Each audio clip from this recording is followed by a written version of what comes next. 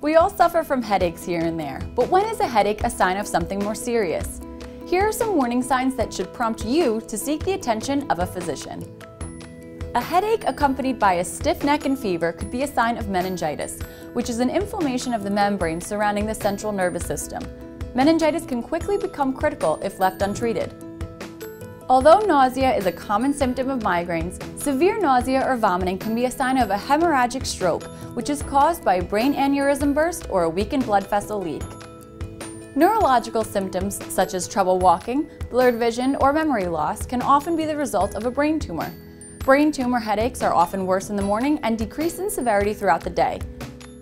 If you are experiencing any of these symptoms, it is important that you seek the evaluation of a physician to rule out anything serious.